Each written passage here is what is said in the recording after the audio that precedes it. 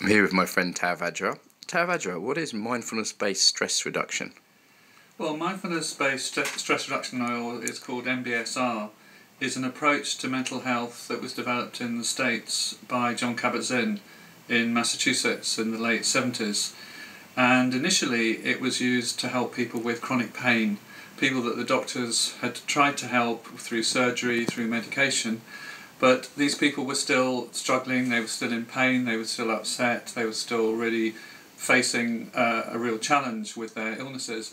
And Kabat-Zinn used some approaches that he'd learned from some of his Buddhist teachers, meditation, yoga, um, to really help people. And so he established, really for the first time in the West, uh, a whole approach to medical care that was based on uh, methods that, that originally were used in the Buddhist tradition as well as other religious traditions around the world.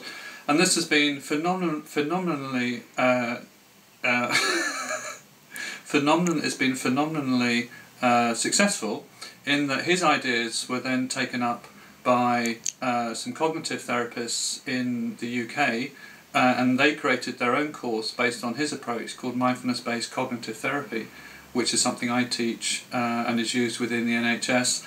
And that's, that's designed and aimed more at people with depression, anxiety.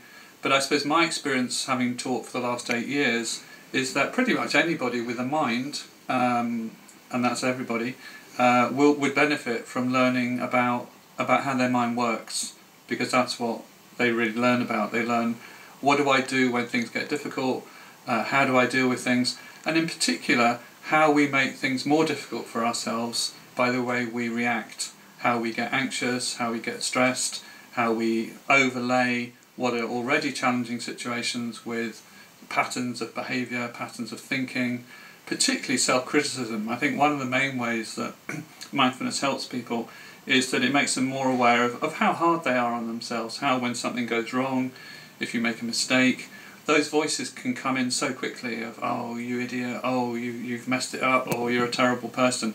And this of course has a, a very negative impact on us. We don't feel happy when we're in the grip of those kind of inner critical voices.